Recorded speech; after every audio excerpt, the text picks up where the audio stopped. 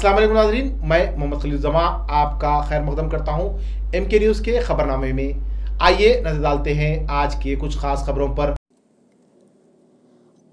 آپ سب کا استقبال ہے M K T V news per. A I M I M president Hyderabad جناب اسد الدین اویسی صاحب کی ہدایت پر آج A I M I M Karwan M L A جناب کوثر محی الدین صاحب اور A I M I M party corporators area president active workers نے مل کر بارش سے متاثر ندیم کالونی، گولکنڈہ پنچ محلہ کاروان، ریتی گلی، سالے نگر، کمارواڑی، پرشانت نگر، غازی گلی اور دیگر علاقوں میں بارش سے متاثر عوام کو دس ہزار روپے ریلیف فنڈز تقسیم کیے۔ اس موقع پر ایم ایل اے صاحب نے گھر گھر جا کر گھر والوں سے تفصیل تفصیلات حاصل کی اور گھر کا جائزہ لیا۔ ہمارے نمائندے محمد روف کی خبر پیش تازہ و اہم خبروں کے لیے M K T V news کو یوٹیوب پہ ضرور فالو کریں۔ محبت سے آپ کرے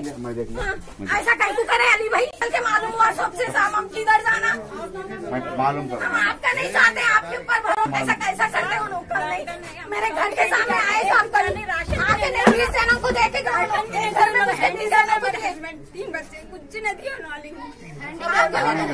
ہینڈی کیپ ہے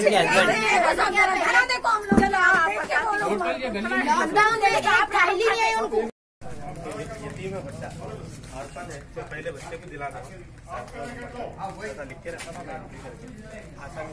پہلے ان کو ہو غفر سر